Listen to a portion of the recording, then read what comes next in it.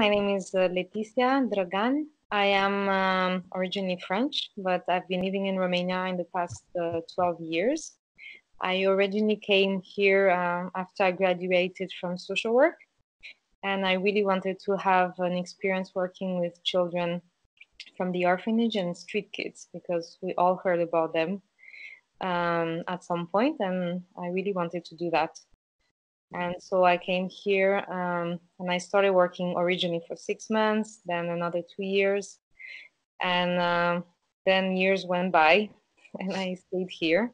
And um, one thing that I noticed working all those years with the, those at risk groups that um, many of the children had in the past either been sexually exploited, some of them were in the present, even when they were in the child center.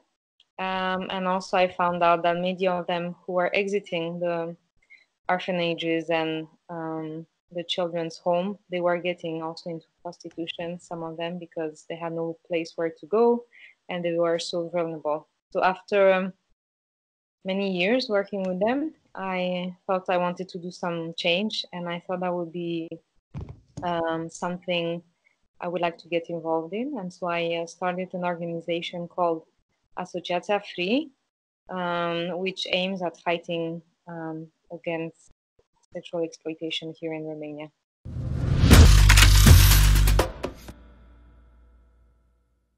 Um, our organization um, works with at different levels, and one of the first uh, level we started working with was doing just public awareness uh, so we had different campaigns just to make people uh, aware of what was happening. We also at one point created some prevention resources. We have made a comic strip book, 3D, it's called uh, Decision Determine Destiny. And um, we have there um, three different stories of girls ending up in um, in being trafficking, and something interactive. And we have also a curriculum that goes with it with six lesson. It's available online and anybody can download it and use it. So we have this part of prevention and part of it is also a small group we have in one of the areas where a lot of prostitution was happening, still is, but a little bit less in the few past years because there's been a lot of intervention from the police. And so we have this small group there every week meeting with us, and most of them are coming from families where somebody is involved in prostitution, either directly in prostitution or in pimping. We also have children from the pimps coming to that group.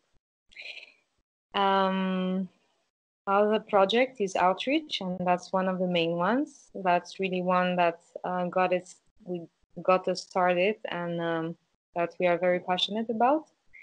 Um, we started doing outreach in the streets here in uh, in Bucharest, and then we started um, other people in other cities start also similar outreaches in cities like Constanța, in Timișoara, and Târgu Mureș, and um, a few other cities also.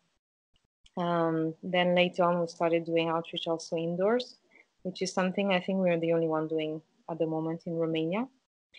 Um, and recently, we've been trying to reach out also to women advertising online because since prostitution is illegal in Romania. Um, we don't see as many on the streets than maybe in other areas of Europe, but many of the women are actually um, doing it in a closed environment, in apartments they're renting and advertising online.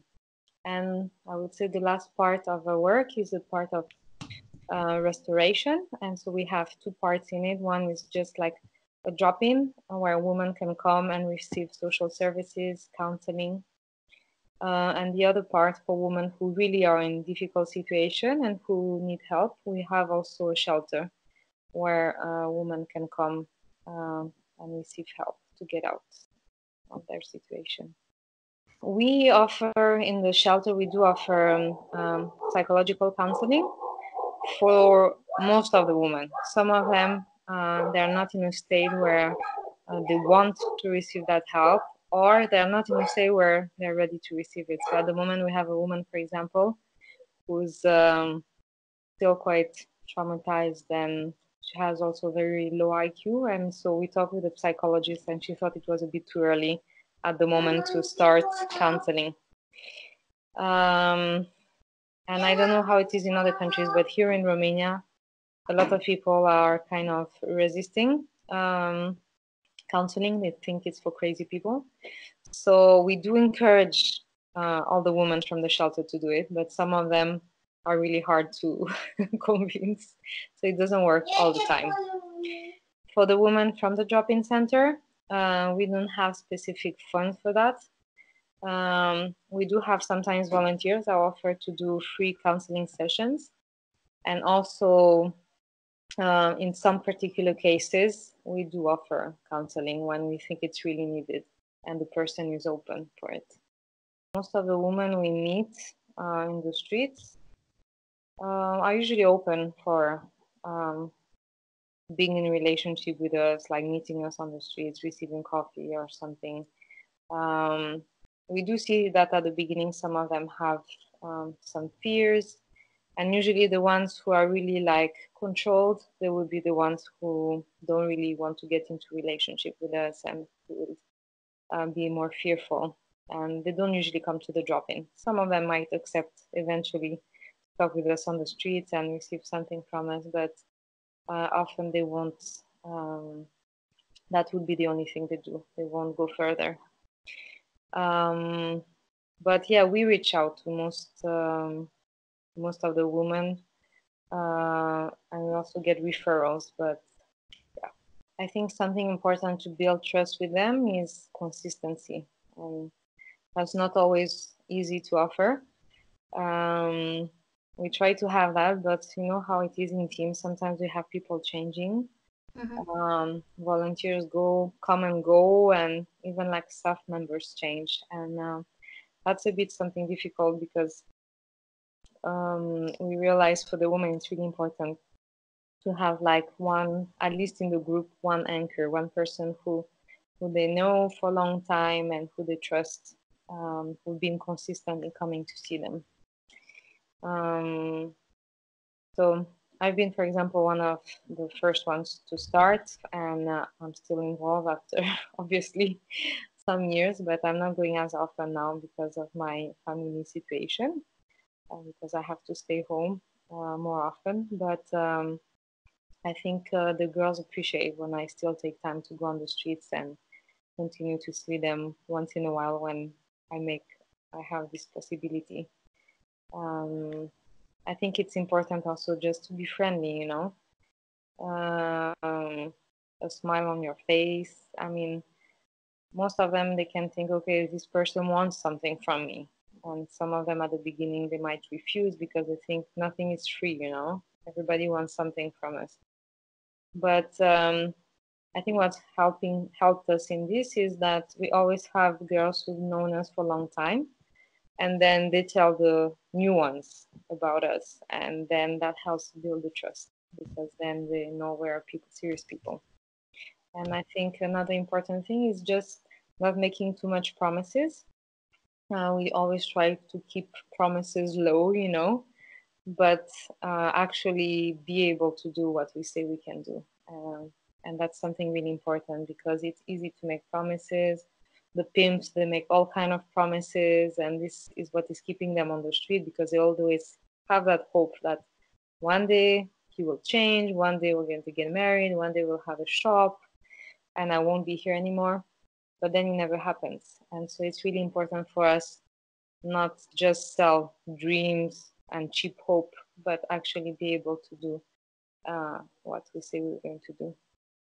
And of course we can it's important also our role is to connect them because sometimes they don't have it's just about having the right connections or the right information or just helping them make uh, them see a bit clearer in their mess in the mind you know sometimes they don't know where to start from but that doesn't mean you have to do everything so it's just often you know just making the right connection explaining certain thing how they were, what could exist you know um, but eventually they have to do it. We've seen also from experiences. And when you carry somebody on your back, you know, and she's not actually making the effort for the change, then it doesn't work on the long term.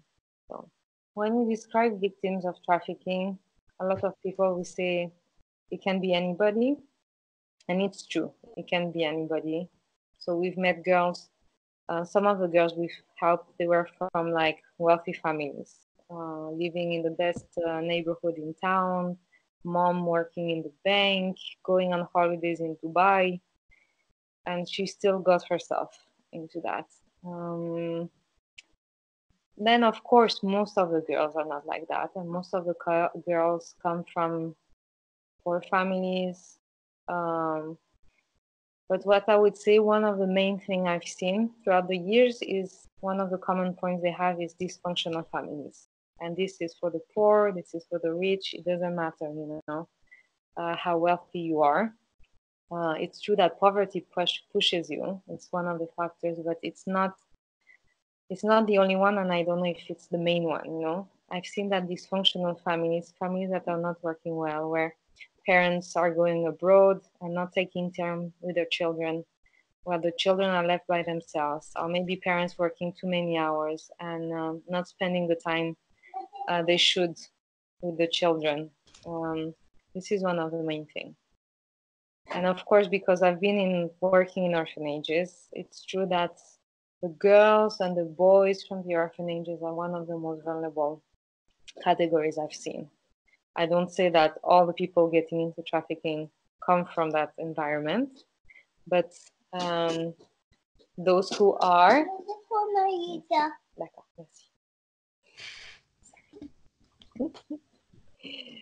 um, yeah, but it's true that those who who don't have a family, who've been raised in orphanage, they are less ready to face a dependent life.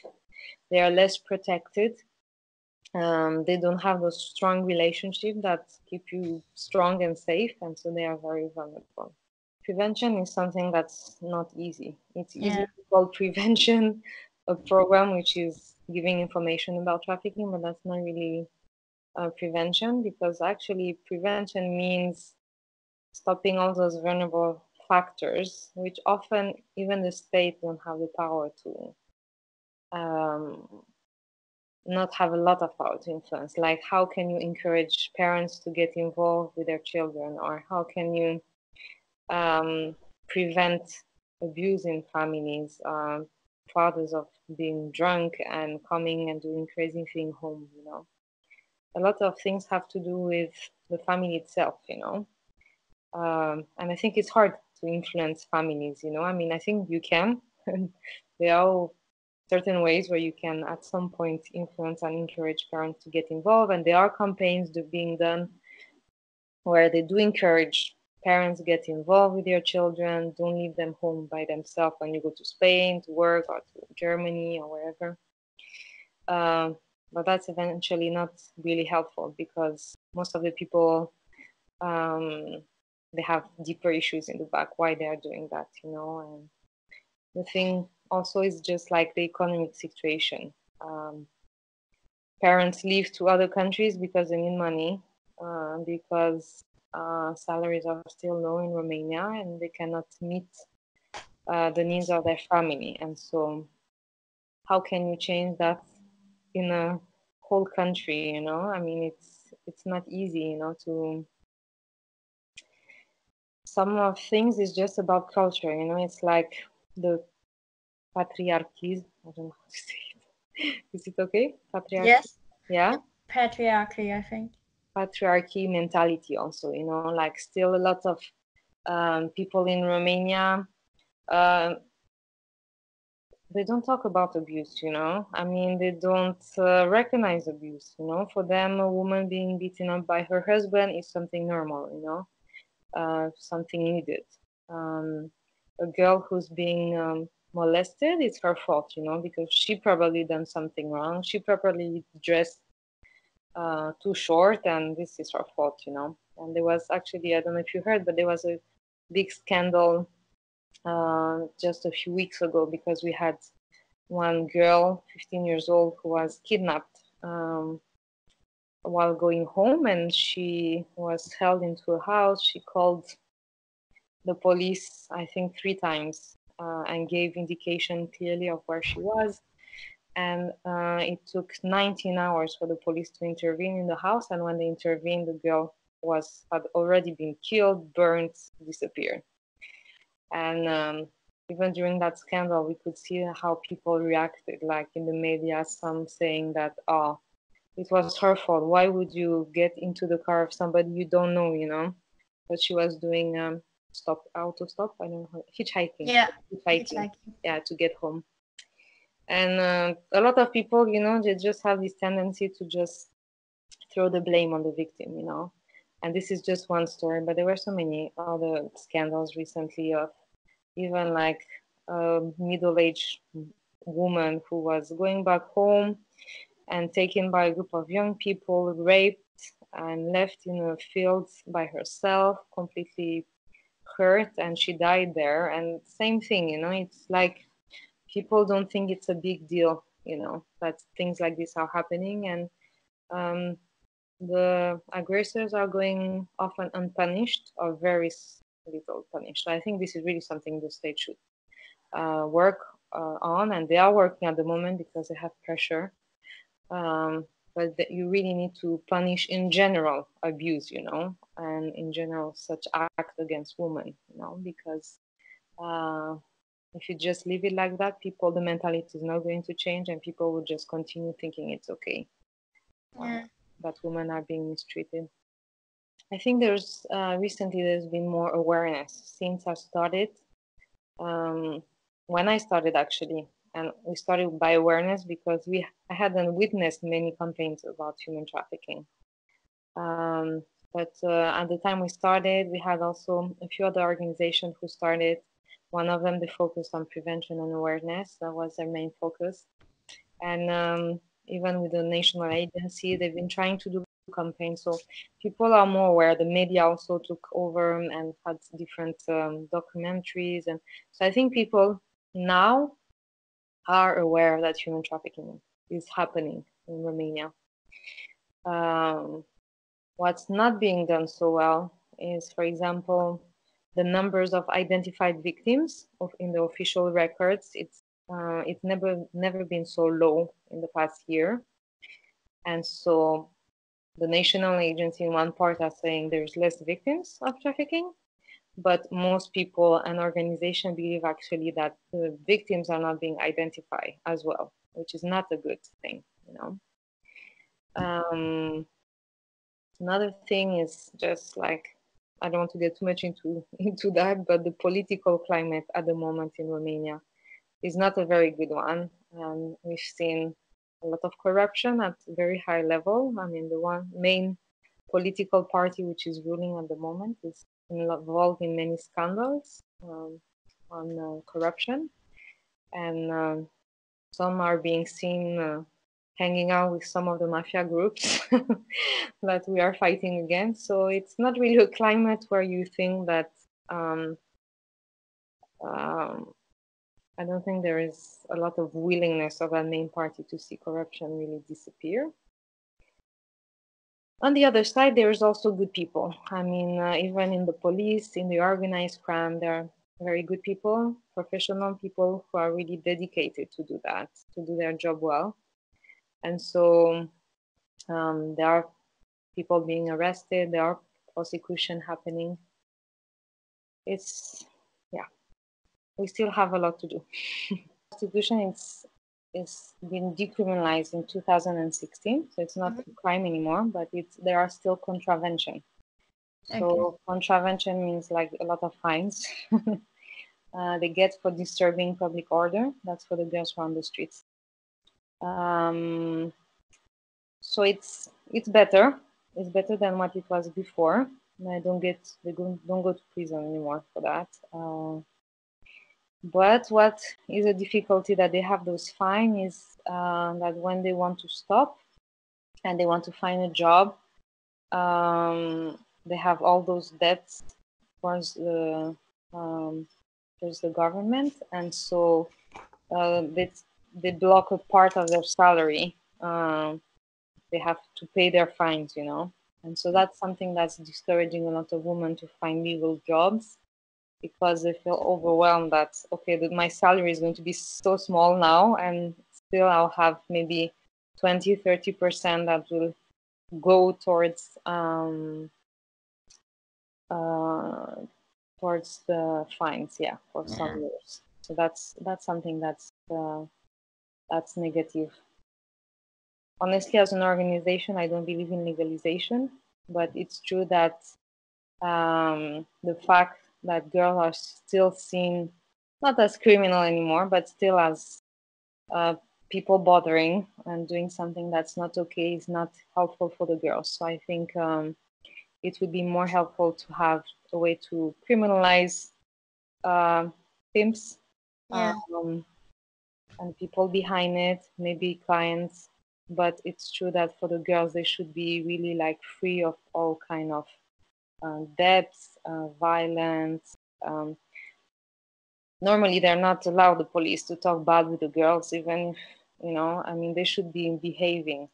But what I was talking to you about the mentality. Um, yeah, this is the reality. It's not something like okay, you tell the police guy don't behave well with the girls because it's not okay to do prostitution, but it's just the way most of the police officers are. They believe Yeah. that she's a woman, she's making more money than I am. Uh, I can do whatever I want. I can talk to her rudely. I can push her.